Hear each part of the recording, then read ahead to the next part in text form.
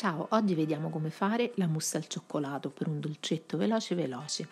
Gli ingredienti sono 100 g di cioccolato fondente e 132 g di acqua. Calcoliamo la quantità d'acqua necessaria. Leggiamo sulla confezione del cioccolato quanti grassi contiene la tavoletta, nel mio caso 46, lo moltiplichiamo per 100 e lo dividiamo per 35, che è la proporzione esatta tra grassi e acqua necessaria.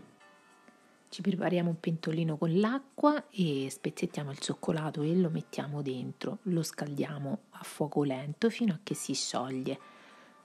Prepariamo una ciotolina con dell'acqua e del ghiaccio, dopodiché ci mettiamo dentro il contenitore con il cioccolato fuso e cominciamo a frullare con delle fruste fino ad ottenere una mousse.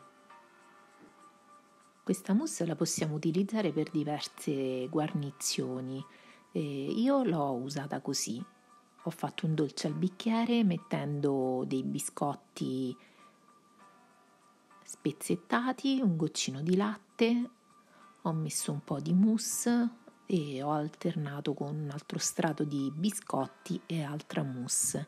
Poi ho decorato con granella di mandorle, cioccolato, un bastoncino di cannella e dello zucchero a velo spolverato sopra. Questa mousse rimane abbastanza amara. Se voi gradite un po' più dolce, potete aggiungere, mentre frullate, dello zucchero a velo o anche degli aromi come la cannella. Spero che il video vi sia piaciuto. Alla prossima ricetta, ciao!